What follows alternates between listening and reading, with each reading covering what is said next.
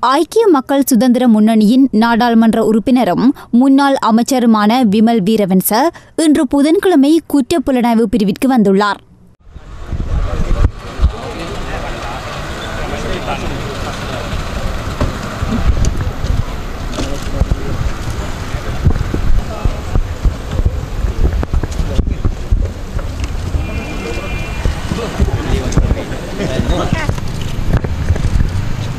මම දන්න මොකටද එන්න කියලා තියන්න කියලා අද එන්න කියලා තියෙනවා මේ දවස්වලතින් වැඩිපුර விமல் வீரவன்சவின் மனைவி போலி கடவுச்சீட்டு மற்றும் போலி தேசிய அடையாள அட்டை என்பவற்றை சமர்ப்பித்தமை தொடர்பில் முன்வைக்கப்பட்டுள்ள குற்றச்சாட்டு குறித்து வாக்குமூலம் ஒன்றை பெற்றுக்கொள்ளும் வகையிலேயே